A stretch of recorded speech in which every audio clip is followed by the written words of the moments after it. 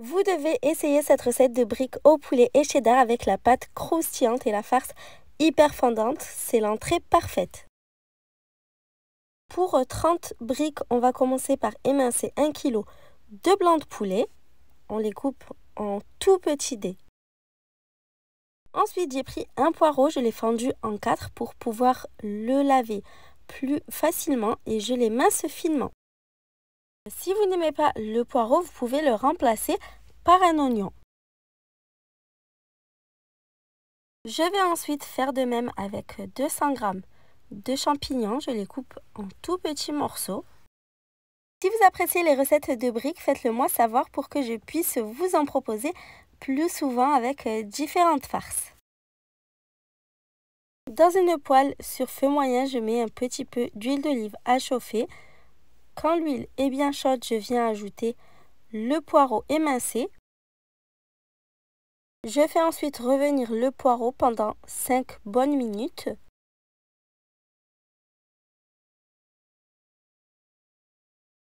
Par la suite, je viens ajouter les champignons émincés. Et on remue pour bien mélanger les champignons avec les poireaux. Je continue à faire revenir le tout pendant encore 5 minutes. Je viens ensuite ajouter le poulet coupé en petits dés. Vous assaisonnez avec ce que vous voulez. Moi, j'ai fait simple. J'ai mis seulement du sel, du poivre et un petit peu de gingembre. Vous pouvez mettre du curry qui s'assemble super bien avec cette farce. On va ensuite venir bien mélanger le tout. On couvre et on laisse cuire tranquillement pendant une quinzaine de minutes. Après 15 minutes de cuisson, on va retirer le couvercle et venir remuer. On va laisser encore cuire cette fois sans couvrir jusqu'à ce qu'il n'y ait plus d'eau dans le fond de la poêle. Une fois que le poulet est bien cuit, on va venir déposer 4 tranches de fromage cheddar. Vous pouvez mettre le fromage de votre choix.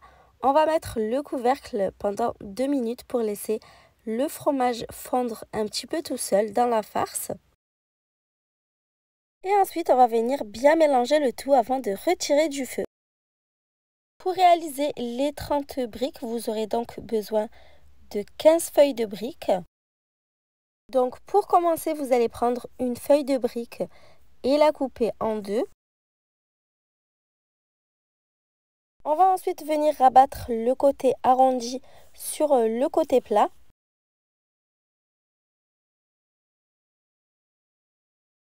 Et on dépose euh, en dessous une cuillère à soupe de farce.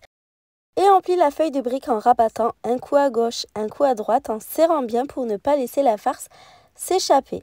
À la fin, n'hésitez pas à couper un petit peu pour pouvoir rentrer votre feuille de brique dans la pliure. On plonge ensuite les briques dans un bain d'huile bien chaud et on va cuire 3 minutes de chaque côté.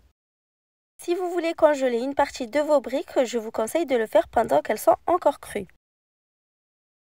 Quand les briques sont bien dorées des deux côtés, on les dépose sur du papier absorbant.